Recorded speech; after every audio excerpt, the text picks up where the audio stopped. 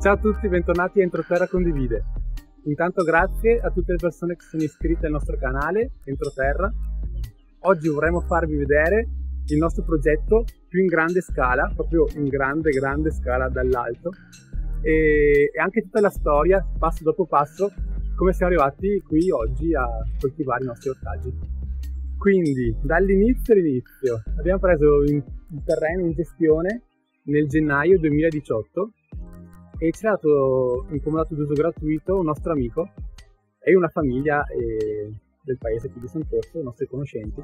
E noi come cooperativa, Cooperativa Entropia, abbiamo deciso di far partire questo progetto agricolo con la possibilità di inserire persone con disagio psichiatrico e anche eh, ragazzi richiedenti asilo politico dentro di un percorso di integrazione sociale prima di tutto, ma anche lavorativa. Coltiviamo circa 15.000 metri di superficie, quindi un ettaro e mezzo. L'esposizione è nord-sud e le nostre aiole permanenti, i nostri permanenti li abbiamo fatti eh, est-ovest e questo dà un'ottima possibilità di eh, esposizione solare. Il terreno è praticamente pianeggiante con una lieve inclinazione verso sud.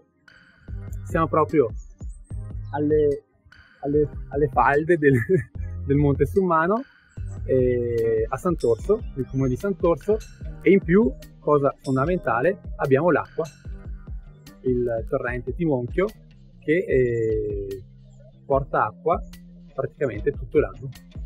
Quindi nel momento in cui abbiamo preso il terreno in gestione era completamente prato, la parte di qua era prato, Artemisia e Sorghetta e la parte più a nord invece era un roveto, eh, tutti i rovi e qualche acaccia che era cresciuta eh, nell'arco degli anni quindi abbiamo proprio bonificato, trinciato tutto, siamo entrati anche poi con uno scavatore, abbiamo estirpato tutte le, le radiciotte, le, i ceppi.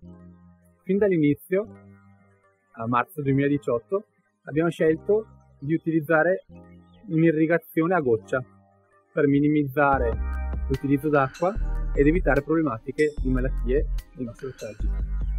Peschiamo l'acqua direttamente dal timonchio con una pompa a scoppio.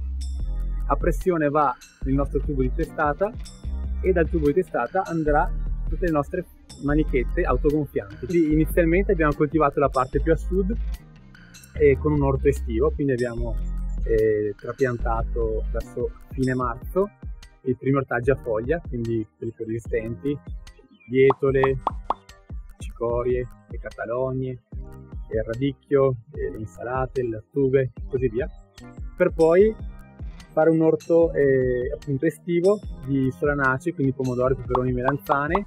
Abbiamo coltivato le patate il primo anno in questa parte qua centrale. Primavera del 2018, quella parte più a nord l'abbiamo semplicemente bonificata, quindi tolto i rovi, tolti i ceppi e ehm, abbiamo fatto una ripuntatura con un trattore bello grosso per poi renderla produttiva da metà estate, quindi luglio, in cui abbiamo iniziato i primi trapianti nella parte a nord eh, di brassicacee, quindi broccoli, verze, cavolfiori e, e tutto l'orto invernale. Vicino all'entrata abbiamo fatto un punto lavaggio e un punto incassettamento eh, in cui portiamo tutti gli ortaggi lì li prepariamo per, o per la vendita ai nostri mercati oppure nell'incassettamento per la nostra eh, consegna settimanale alla CSA. E invece tutti gli attrezzi e, e, le cose che abbiamo bisogno più al momento, quindi di prendere velocemente, le abbiamo nella parte centrale, quindi per evitare spostamenti e minimizzare eh, i movimenti. Abbiamo mantenuto la cappezzagna, quindi la, la stradina dove possiamo passare, all'entrata che taglia fino a metà del campo. Primavera 2019, nella parte sud, la prima parte a riposo, poi abbiamo seminato dei piselli e c'era la parte delle fragole che avevamo trapiantato l'agosto dell'anno precedente. Nella parte nord invece abbiamo trapiantato cucurbitacee, quindi zucchine, zucche, porri e abbiamo costruito la prima serra nella serra abbiamo coltivato pomodori, peperoni, melanzane sotto copertura. Autunno-inverno 2019. Nella parte più a sud finocchi, radicchi, brassiche, poi ancora degli altri radicchi e poi c'è la parte delle fragole. Nella parte sud abbiamo anche allestito la nostra camera di bianchimento e abbiamo iniziato appunto a fare i primi video qualche mese fa. Se vi interessa guardate il video, trovate il link. Invece nella parte nord abbiamo adibito una, un'area a leguminose, un'altra area era liliace, quindi i nostri porri, e l'ultima parte l'abbiamo lasciata a riposo. Nella parte più a nord abbiamo adibito un'area dove sperimenteremo la coltivazione di piante perenni, sia aromatiche, medicinali e sia per la produzione di biomassa. Primavera 2020, eccoci qua. In questo momento la parte più a sud è a riposo e andremo a trapiantarci delle cucurbitacee, parte centrale, abbiamo degli ortaggi a foglia, staremo trapiantando a breve gli ortaggi primaverili a foglia. Nella parte dove abbiamo fatto appunto il video della, di come gestire l'orto invernale, a breve andremo a aggiungere uno strato di compost e trapiantare semplicemente senza lavorare nuovamente il suolo gli ortaggi a foglia primaverili. Nella parte nord invece abbiamo appena concluso eh, la costruzione e montaggio delle nostre serre, sono circa 1260 metri quadrati di serre. Abbiamo filmato tutto e il prossimo video sarà proprio sul montaggio serre, tra gioie e dolori e difficoltà che abbiamo avuto, ma ce l'abbiamo fatta. Sotto le serre andremo a coltivare durante la primavera estate una serra completamente adibita a melanzane, una a zucchine, una a peperoni e una a pomodori, provando diverse varietà. Poi c'è l'aglio, i piselli, abbiamo fatto un paio di semine di carote già, quindi quest'anno il focus è fare delle carote decenti, anzi buonissime.